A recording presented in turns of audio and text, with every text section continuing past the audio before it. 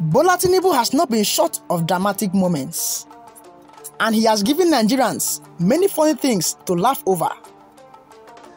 Well, what happened today was shocking because as you can see in this video, Bola Tinubu handed over his ballot papers to his wife due to his shaking hands.